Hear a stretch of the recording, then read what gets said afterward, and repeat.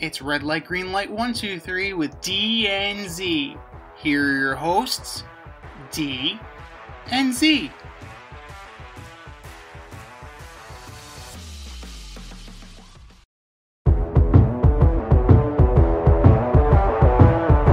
Welcome everybody to Red Light Green Light 123 with D and Z, and here's how it goes. D and I give you our top 123 fantasy starts or green lights, and our top 123 fantasy sits or red lights. We're going to start with our green lights first. Who are your green lights for NFL Week 6D? All right, so first up, I'm going with Baker Mayfield. Um, Baker is taking full advantage of all his offensive weapons, and you can count on him to get between 20 and 30 points this weekend. Number two, I'm taking DJ Moore.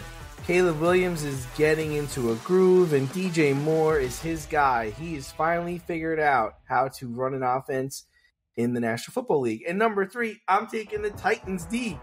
Drake Maye is going to be starting for the New England Patriots, and that's going to be double digit points for the Houston Texans. You can't go wrong with those. Those make a lot of logical sense. I'm going to go with Tank Dell against the Patriots.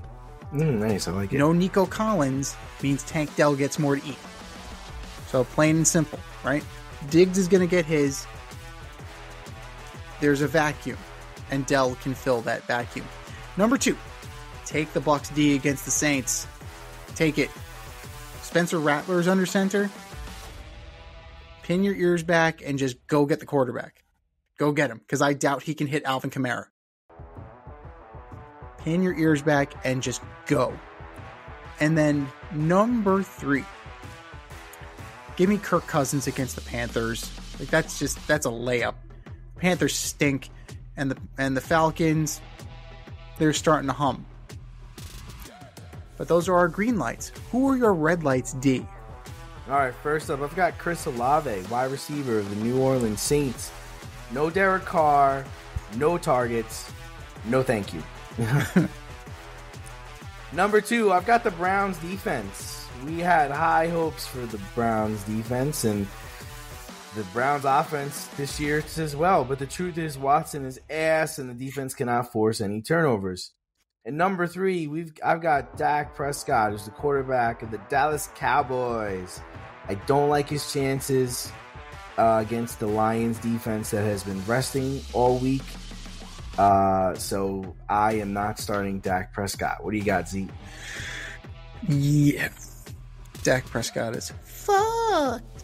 So we're gonna move on from him. Uh, where to begin with our red lights? Oh, here's one: Will Levis against the Colts. you want to talk about Deshaun Watson being booty cheeks? Like, they put Mason Rudolph in last week because Will Levis was so bad. So, Will Levis, Hmm. you can go have a seat right over there. Number two, Deshaun Watson against the Eagles.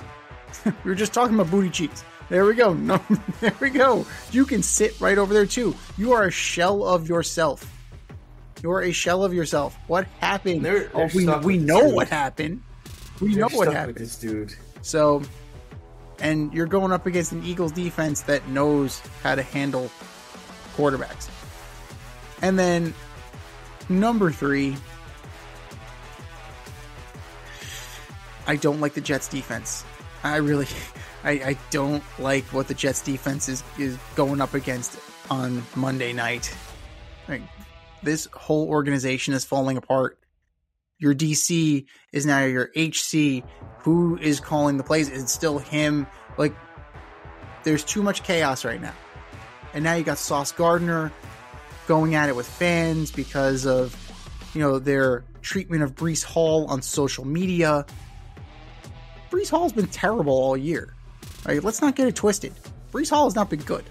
I get what you're trying to do. You're trying to be a good teammate, but sometimes you just gotta sit some out. You gotta sit some arguments out. Some things are not your business. Some fights are not your fight, and that's one of them. You're never gonna win a fight against the fans. Never, ever, ever, ever. You can pick anybody from the Jets, and they're they're a red light. anybody.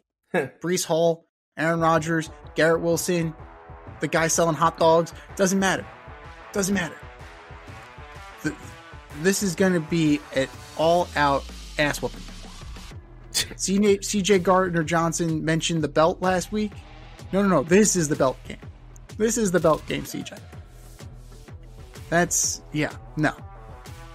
Not looking pretty at all. And the Bills are coming off what back to back losses, aren't they? Yeah. So they're going to be ornery. you think you think they're going to want? You think they're going to want to make a point and prove a point on Monday night? I think so. Games in New York or game is I in MetLife. Jersey? MetLife. So New Jersey? in All right, so consecutive consecutive days, there'll be back to back primetime games at MetLife. yeah, a combined four and six, those two teams. So yeah, awesome.